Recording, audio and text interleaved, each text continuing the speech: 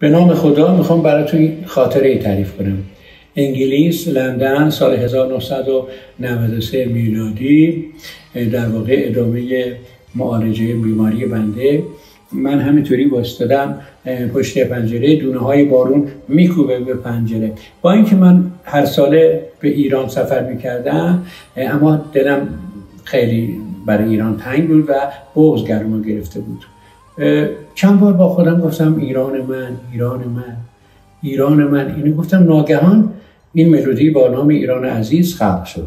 ایران من ایران ای هستی و ای جان من من بی تو فردایی ندارم. فرزند دل پاکت منم قربونی خاکت منم. بی تو دگر نایی ندارم.